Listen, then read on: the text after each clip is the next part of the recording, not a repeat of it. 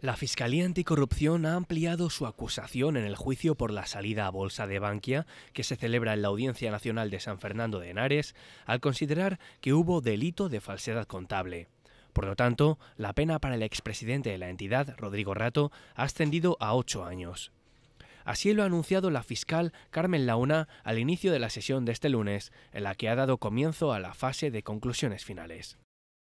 Mientras la Fiscalía ha elevado las penas a Rodrigo Rato, al ex vicepresidente de Bankia, José Luis Olivas, y al exconsejero José Manuel Fernández Noriella, el exconsejero delegado de la entidad, Francisco Verdú Pons, ha sido absuelto del delito de estafa a inversores que se le imputó en un primer momento, pero ha sido acusado de falsedad contable.